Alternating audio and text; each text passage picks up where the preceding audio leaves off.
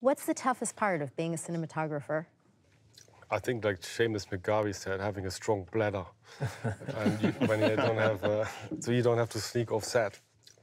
Having a good director. Huh. Elaborate on that point. Well, the better your director is, the better your work's going to be, especially in combination with a great production designer.